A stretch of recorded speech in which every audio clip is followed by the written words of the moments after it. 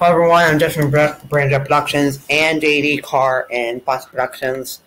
And um pretty pretty sunny right now, as you guys can probably see. Um sunny, dramatic clouds. Again, still pretty hot. I'm about 80 degrees right now, so it did go down because the high today was like 89, 90 degrees, so very hot today.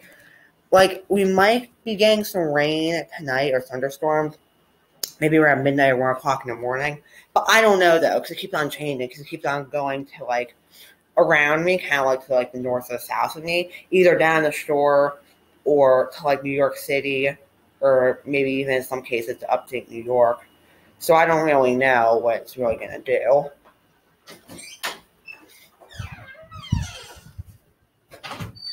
Because it keeps on changing.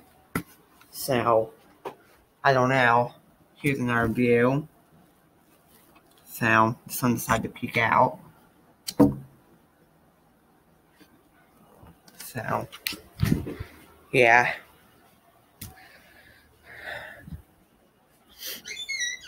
yeah, I don't know what I don't know what's gonna happen now because it keeps on like going around us and like going to like New York City or down the shore in some cases or to New York State in some cases, mainly to mainly to the city, but and and to Long Island, but I don't know what's gonna happen.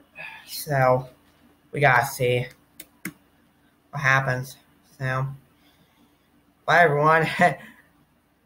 we'll see what happens.